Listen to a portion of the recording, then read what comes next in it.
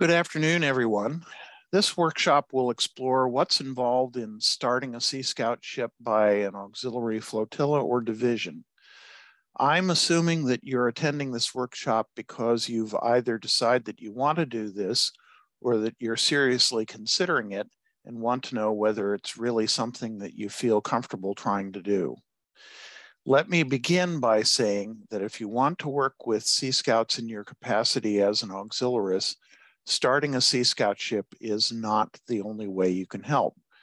I'm going to very briefly explain what Sea Scouting is and uh, what uh, some of the other options are for working with the Sea Scouts. Sea Scouting is a program of the Boy Scouts of America for young men and women ages 14 to 20. Sea Scouts have been a part of BSA since 1912. For the youth, Sea Scouts offer high adventure in, on, around, and under the water. For adults, Sea Scouts provide, gives us a way to pre prepare young people to make ethical choices over their lifetimes by instilling in them the values of the Scout Oath and Law. The reason why the auxiliary cares about this is that since 2018, Sea Scouting has been our official youth program. Sea Scouting has a number of objectives, which include promoting better citizenship, improving boating skills and knowledge in water safety, providing outdoor social and service experiences to young adults, giving young adults the opportunity to gain knowledge of their our maritime heritage, and of course, having fun on the water. There are a lot of similarities between Sea Scouting and other scout programs. Sea Scouts, though, are older and more mature, which makes them very different from Cubs and Scouts BSA. Teenage young adults and boats means much more advanced outdoor programs. I'm assuming that you understand why it's important for the auxiliary to be working with Sea Scouts. If not, there's a video on the subject on the Aux Scout YouTube channel. Its title is Working with Sea Scouts for the Future of the Coast Guard Auxiliary. What we want to explore now is how we as auxiliaries can help the Sea Scouts. I'm going to begin by spending a few moments talking about ways to get involved that don't involve starting a Sea Scout unit. There are hundreds of Sea Scout ships all over the country, and many would welcome the opportunity to work with you. This can be as informal as occasional visits to teach special subjects like navigation or radio communication, or a more formal commitment to provide auxiliaries as adult leaders and trainers and setting up underway training opportunities on Sea Scout and auxiliary vessels. We'll follow this presentation on starting a ship with a separate talk on partnering with Sea Scouts.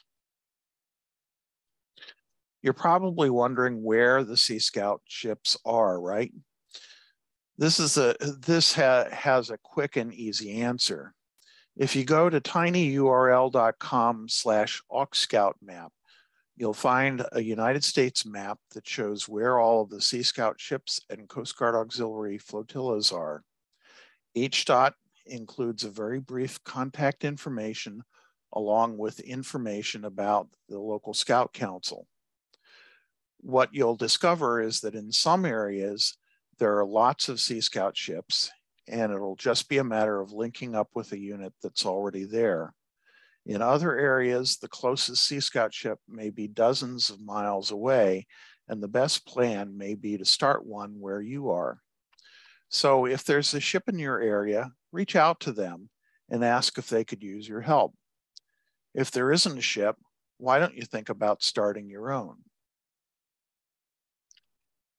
Remember that we're not only allowed, but we're encouraged by the Coast Guard to consider starting Sea Scout ships and making them a part of our recreational boating safety program.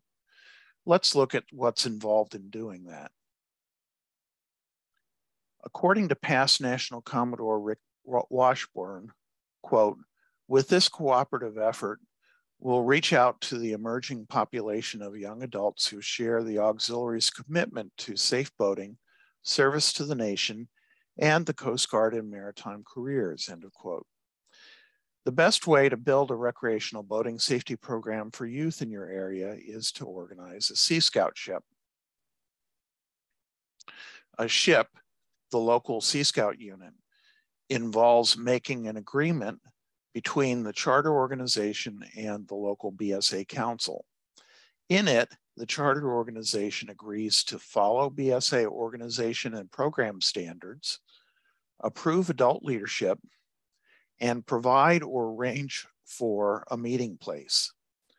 The ship isn't a legal entity, but the charter organization must be enough of one to be able to enter into an agreement. As of today, there are 26 auxiliary flotillas and divisions that charter Sea Scout ships.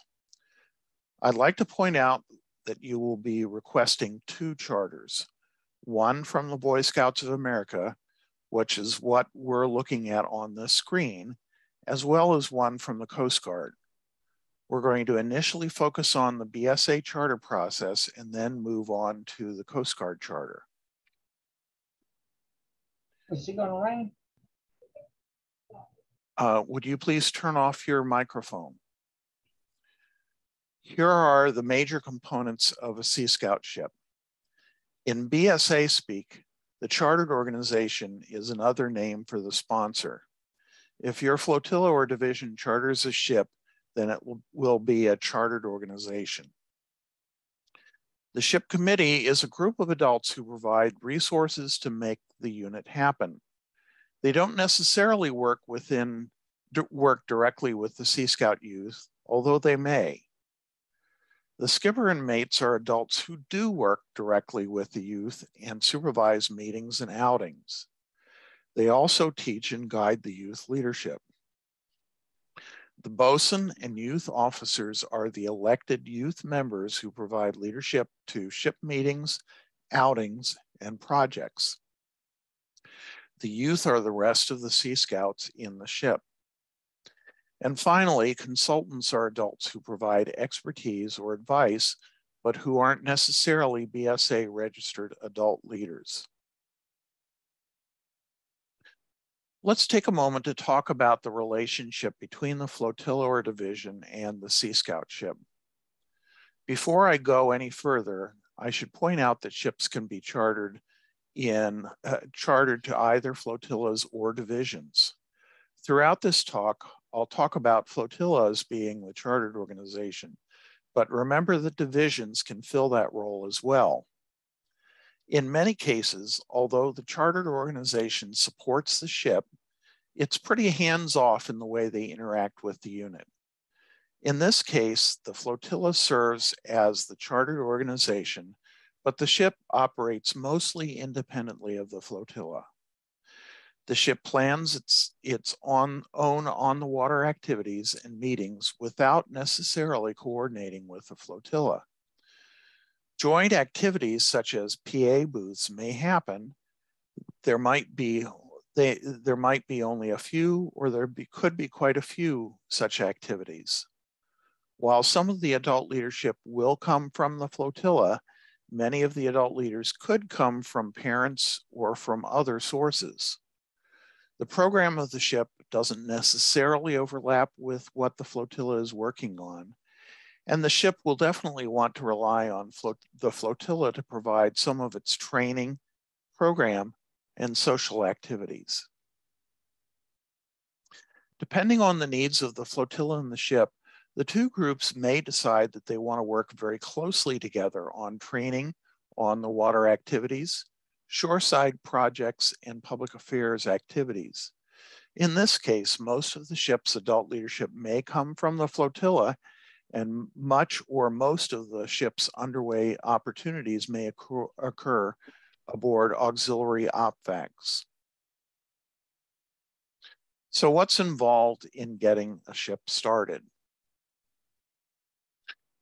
What we're going to do now is walk you through the process of organizing a Sea Scout ship Broadly, it involves holding a meeting at which you decide what you want eh, that you want to organize the ship and determine who's going to do what.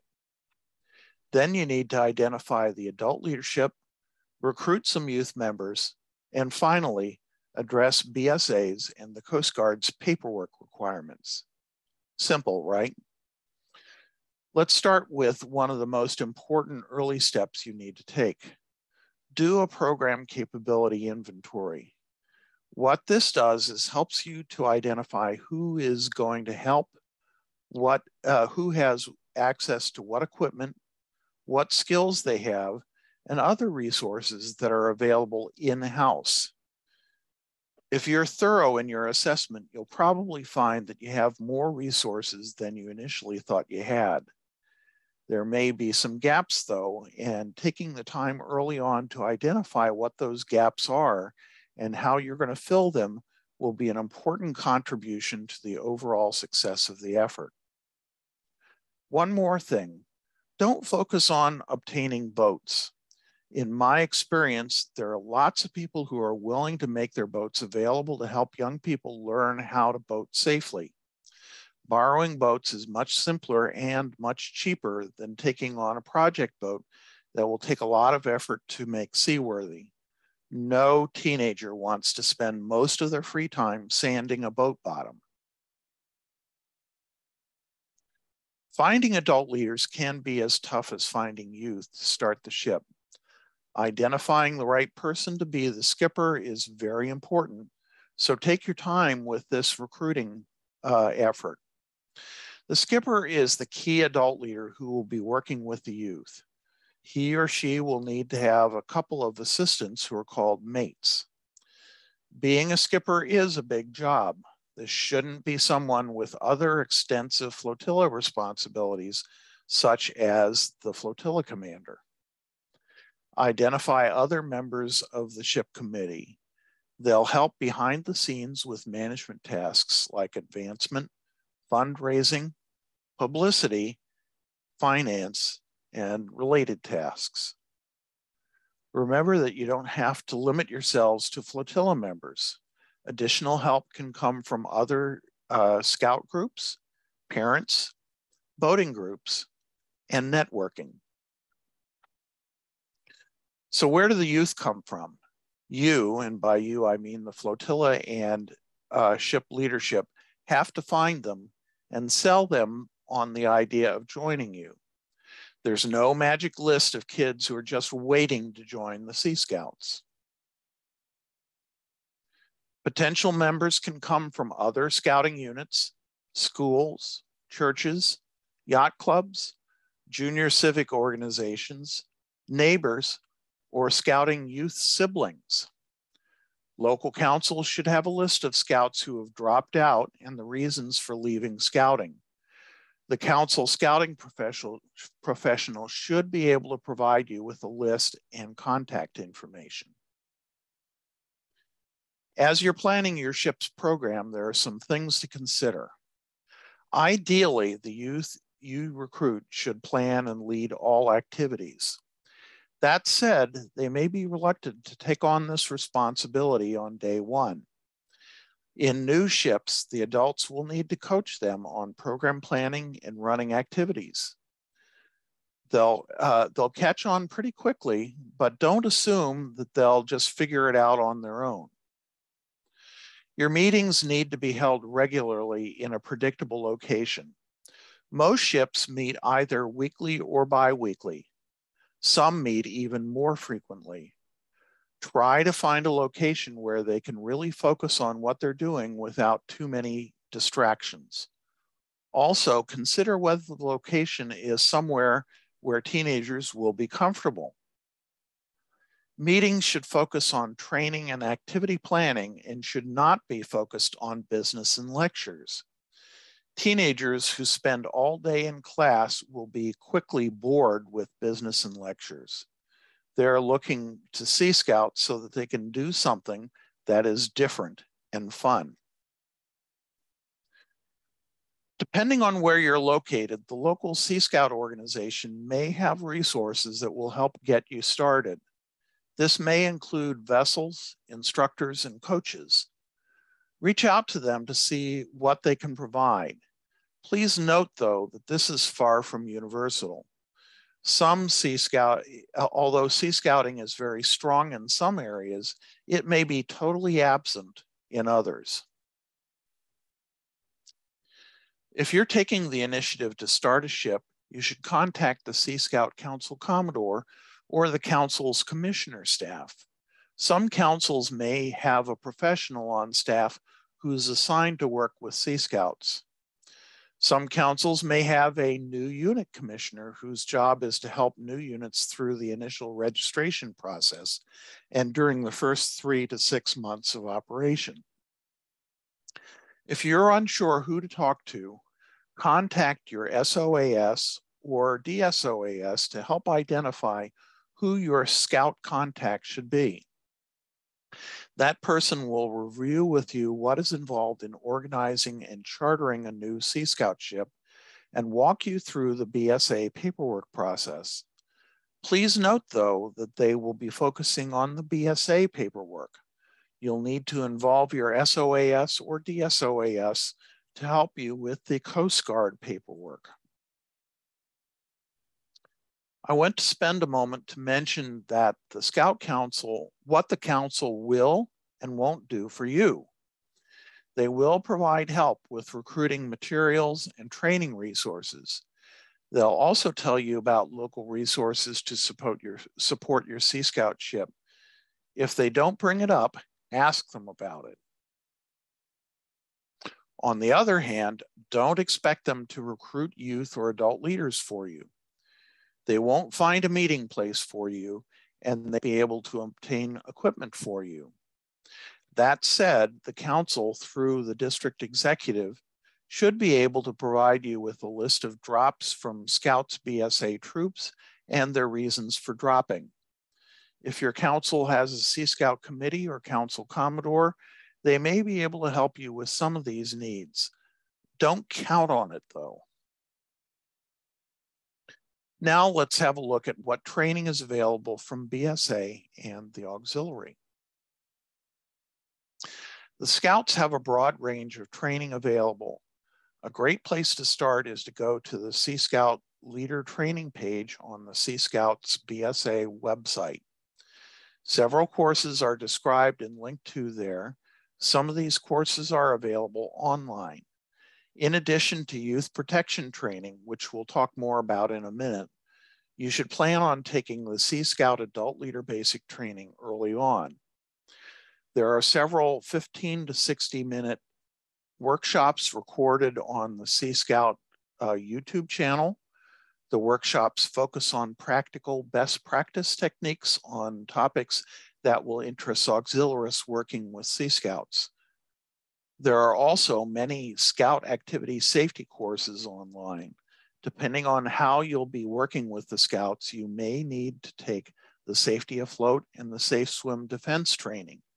Each is very straightforward and takes less than an hour to complete.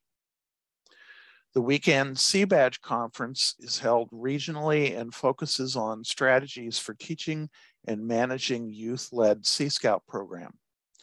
Some Sea Badge conferences will be held over the next couple of years that are specifically focused on auxiliary trainees. They're fun and very informative. I'd like to quote a Sea Scout skipper who joined our flotilla here in Maryland. He reminds everyone that every scout deserves a trained leader. I'd like to take a few moments to focus on BSA's youth protection training, which is also referred to as YPT. YPT covers a set of practices that are designed to both protect young people from any possibility of abuse, but also to make sure adults don't put themselves into situations where they could be accused of abusing.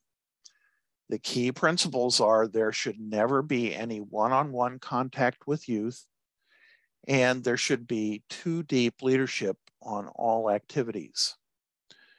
Youth protection training can be taken online. It takes about an hour and a half to complete.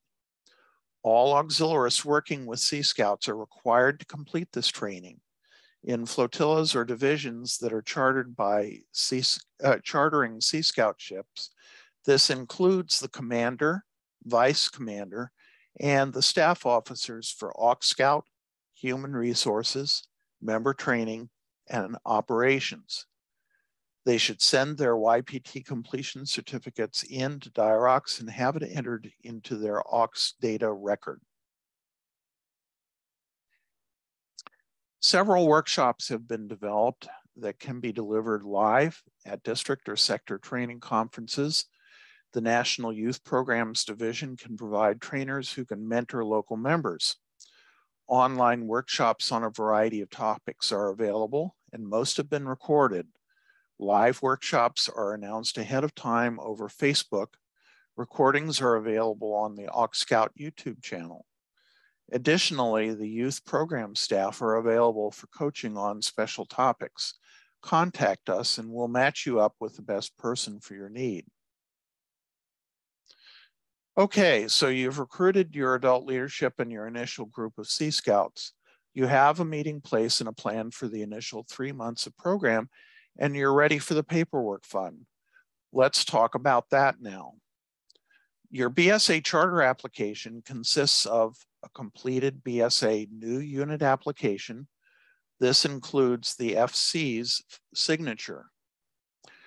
BSA adult applications and youth applications for each ship member, proof of youth protection training for all adults, a charter fee and insurance, and this fee varies from council to council, and a registration fee for each individual.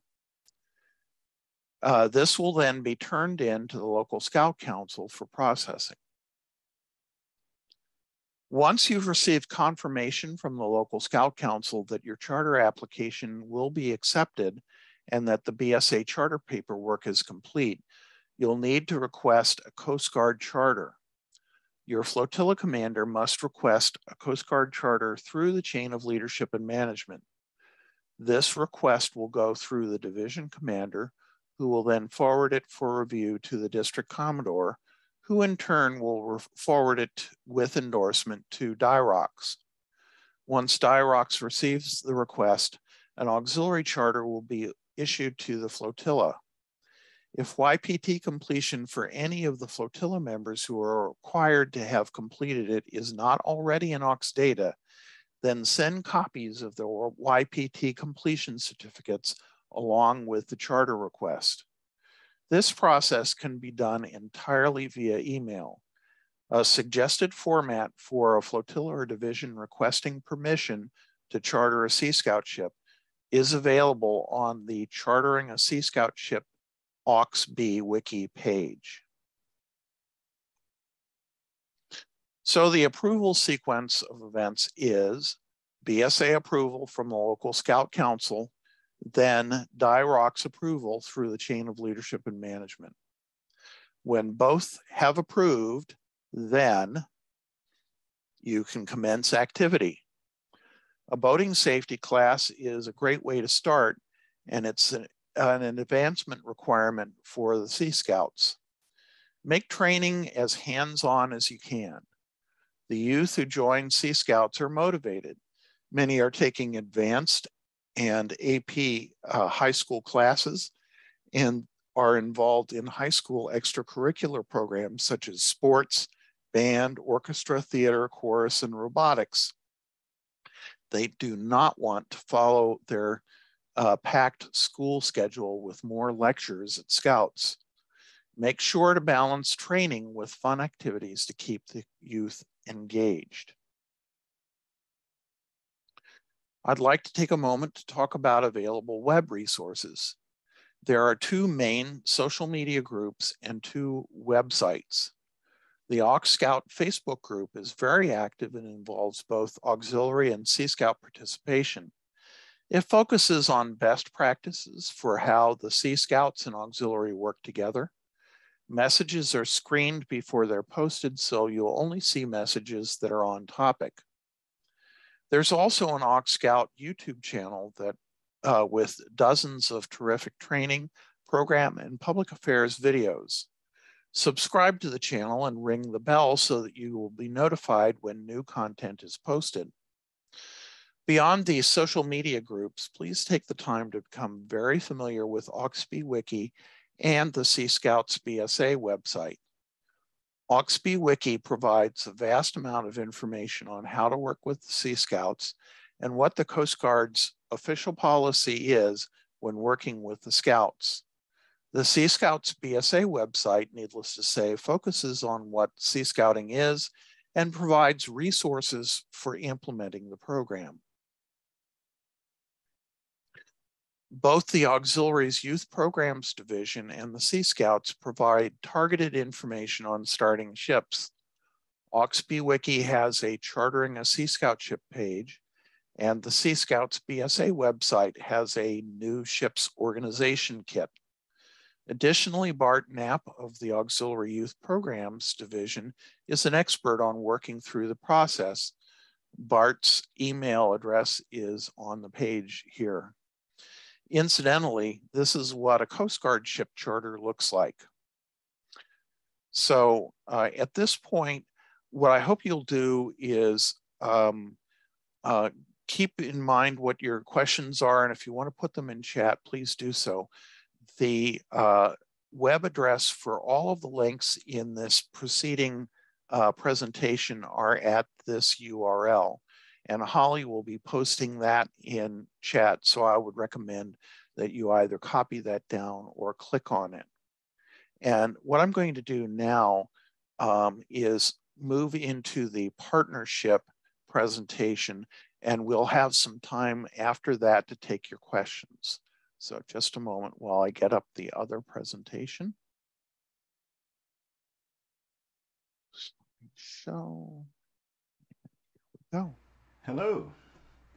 Thank you for taking the time to join me today in this workshop on developing partnerships with Sea Scout ships. My name is Derrick Cogburn and I am delighted and honored to serve as the skipper of Sea Scout ship 1959 Seafarer's Commitment based in Annapolis, Maryland. Our ship was honored. Oh, crap. To be named the 2021 National Flagship. And I'm excited to share with you a few ideas that we have about partnerships and the role and impact that it's had on our ship. So first off, what are some of our goals? So in this workshop, I would like to help auxiliarists and other Sea Scout leaders understand what are some of the opportunities as well as some of the challenges for building partnerships that support Sea Scout ships. I want to highlight how partnerships between ships and flotillas can be particularly helpful and mutually beneficial. We feel that our ship represents a good model uh, of ship flotilla partnerships, and we know that some flotillas may want to consider chartering their own ships, while others may want to understand how to provide occasional uh, help, kind of the, the spectrum of ship flotilla partnerships. We also believe that we have identified some best practices that have worked for us, but we also want to have um, share with you some of our uh, lessons learned that we've experienced as well. So let's talk a little bit about our founding partnerships as well as some of our initial partnerships that came right after the ship was founded. So as we were laying the groundwork to found our ship, um, we founded the ship with several formal partnerships, and all of those had to have board uh, approval. So the first was that our chartered organization is the Seafarers Foundation. So the Seafarers Foundation is a 501c3 Maryland uh, registered Maryland charity, and it serves as the philanthropic arm of the Seafarers Yacht Club.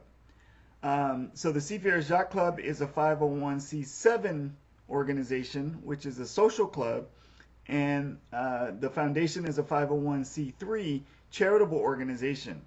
And that distinction is important to us. So it was important to have the partnership of the yacht club itself, as well as its philanthropic organization, the Seafarers Foundation. So both the boards of the foundation and the yacht club approved our creation of the ship. Also in preparation for our founding, we partnered with U.S. Coast Guard Auxiliary Flotilla 2409 in Bowie, Davidsonville. And this was actually before the national MOU between the Coast Guard Auxiliary and the Sea Scouts.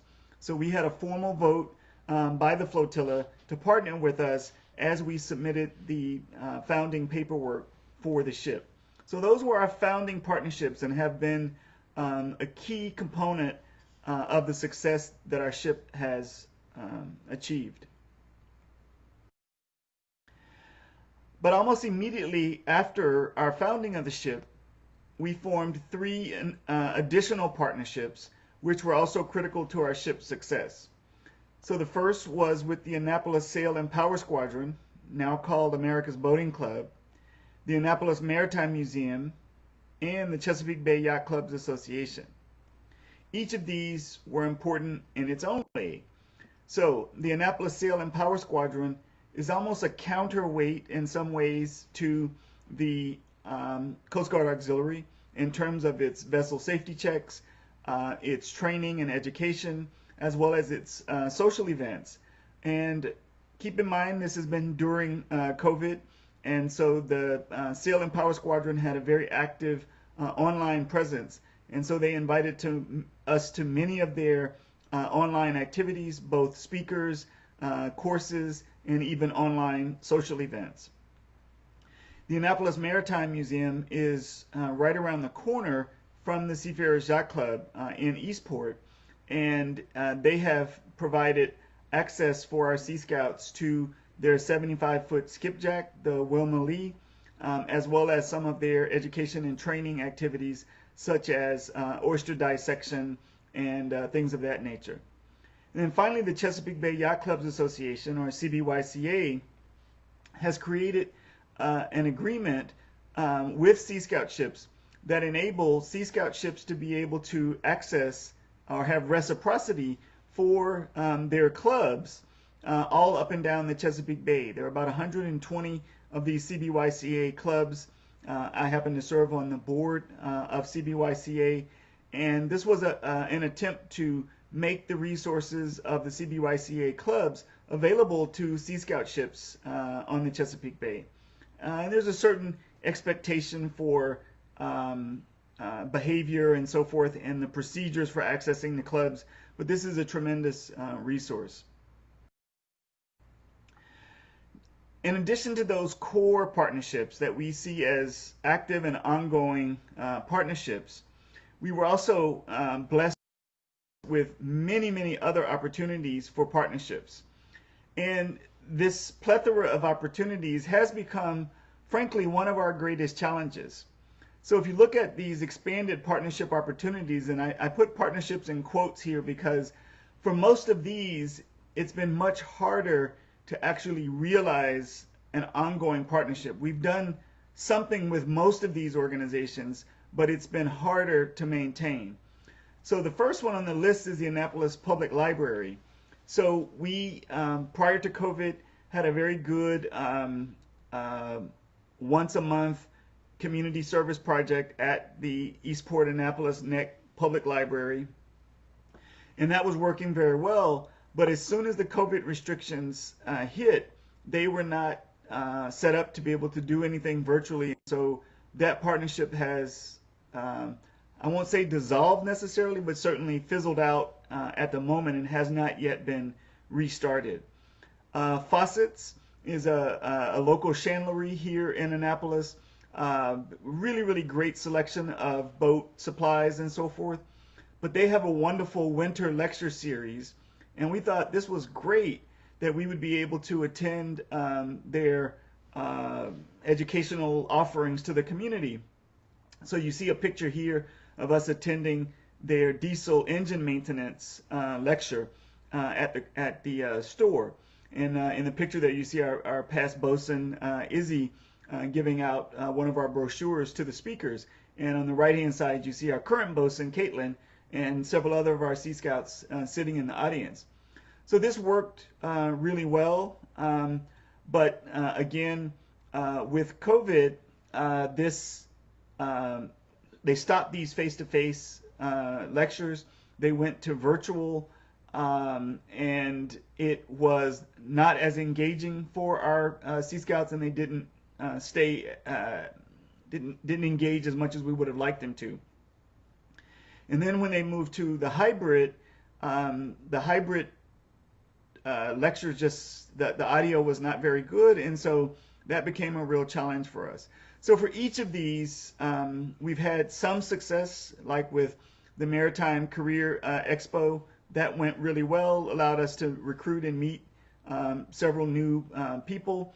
But with many, many of the other um, uh, potential partners, um, it just we've been had a difficult time maintaining so many uh, active partnerships, and it's something that I would really uh, like to work on, and I have some ideas around how to how to capitalize on that. So now let's talk just a little bit about some of our best practices, and then we'll talk about some of the lessons that we've learned. In terms of best practices, I think that um, we have done an exceptionally good job of maintaining active communication with all of our key partners. So the Seafarers Yacht Club, the Seafarers Foundation, and our key Coast Guard Auxiliary Flotilla uh, 2409. Um, we've had a very, very strong, active, weekly, sometimes daily communication. So everybody knows what's going on, everybody's informed, everybody's actively uh, participating. Uh, we have a ship committee structure that uh, enhances that and it brings all of the key partners together. So everybody from all of the organizations that we actively uh, partner with are represented in um, our uh, ship committee uh, structure. We also have actively involved multiple Coast Guard auxiliary leaders in the leadership of our ship. So the skipper's mate for program is the past commander of the flotilla, uh, uh, uh, Commander Bill Woodward. The uh, mate for administration is the current commander of the flotilla, uh, Captain Tanya Morris. And the treasurer for our ship is Captain Ed Morris, who's also an active member of the flotilla. I will say we also have had um, one of our uh, Sea Scouts um, go through the formal process of applying to and being accepted into the flotilla as well. And there are several others on the horizon. We, we've been able to maintain uh, regular planning sessions, so we are very comfortable with using Zoom and other virtual organization practices. Um, we've also prioritized adult training. So um, in our uh, ship, we have had two wood badge trained uh, adult leaders. Um, we also have had four uh, sea badge trained adult leaders and one uh, staff member, uh, sea badge staffer. We also actively work to publicize our ship activities. Um, here in Annapolis, uh, the Spin Sheet and Prop Talk, actually not just in Annapolis, up and down the Chesapeake Bay, these are two publications that uh, boaters rely on very heavily, and we've had some um, very good coverage uh, in those two um, uh, magazines. They, they happen to be published right behind our clubhouse, so that makes it um, somewhat easy to be able to reach out to them. But um, uh, that's been, I think, a very good uh, practice that we've been able to have. Um, as I mentioned, the uh, Maritime Expo worked really well. Um, but they've changed that structure and uh, it, it went away from the nice open um, Saturday uh, structure that they had at Annapolis High School to a much more complicated structure. And then again with COVID, it went uh, online. But I think uh, that is a good practice for us uh, to be able to continue. And probably one of our best practices is that we spend a lot of time on the water. Uh, we think it's important um, to get the kids out, uh, whether it's sailing, kayaking, fishing. Um, uh, we do all kinds of uh, things on the water, and that's been important to us. In terms of lessons learned, we also feel like there have been some important um, experiences that we wanted to share. So one is recruiting. Um, so although our ship has grown, we actually haven't had an open house yet, which is the tried and true method for recruiting. And I believe that um, if we were able to um, start an active recruiting process through open houses, which we are planning to do in the fall, um, that would uh, really have an impact on the growth of our ship. Um, even though we've put together flyers and brochures and we have a website, um, we really haven't recruited uh, amongst a variety of organizations, sailing schools, those kinds of things. And so we really want to focus on, on recruiting. And I think that if we don't get our recruiting um, structured better, um, we, it will have a negative impact on our ship uh, going forward.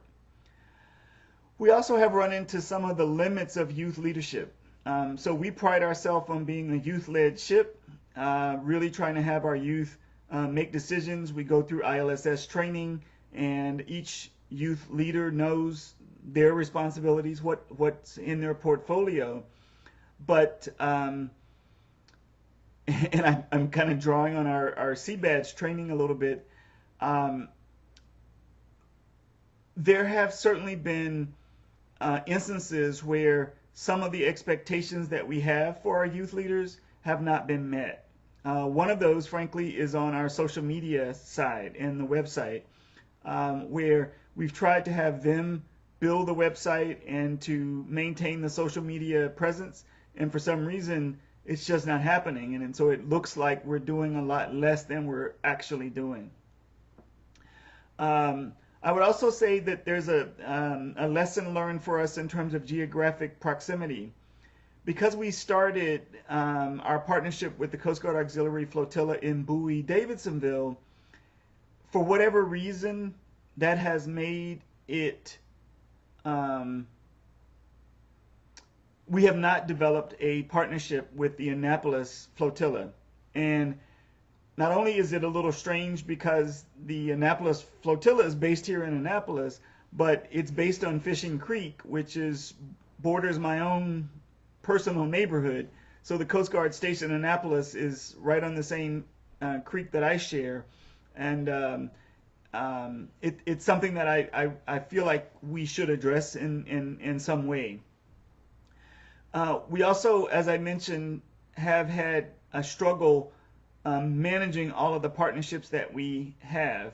And I think that the lesson learned there is that we need to decentralize our partnerships a little bit more. Um, we do have 16 adults, and so all partnerships don't need to go through our mate for program or through the skipper, but we could um, probably try to manage those partnerships by distributing them and dispersing the responsibility for managing those partnerships a little bit broader throughout the adult and youth uh, in our ship. And that way we take better advantage of all the local opportunities that we have. And then finally, uh, one of our biggest challenges uh, has been managing donated vessels. Um, I guess partially because we do have a, a web presence, um, we do have a good deal of um, recognition uh, here in the Annapolis area. We have um, be benefited from um, offers of donated vessels. Uh, we do have uh, our chartered organization is a 501c3 uh, Maryland charity, which allows the foundation to produce um, the uh, required documentation and paperwork for donated vessels. Um, we have seven vessels at the moment. Uh, we have turned down uh, a, a fairly large number of vessels that we've uh, had to say no to.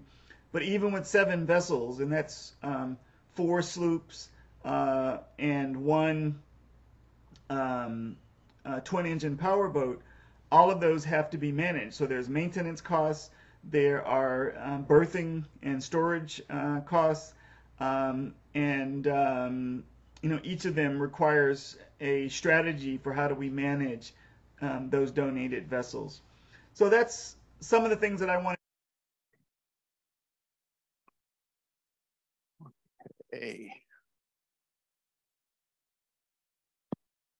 All right, so let me stop sharing my screen. And we're back to, okay.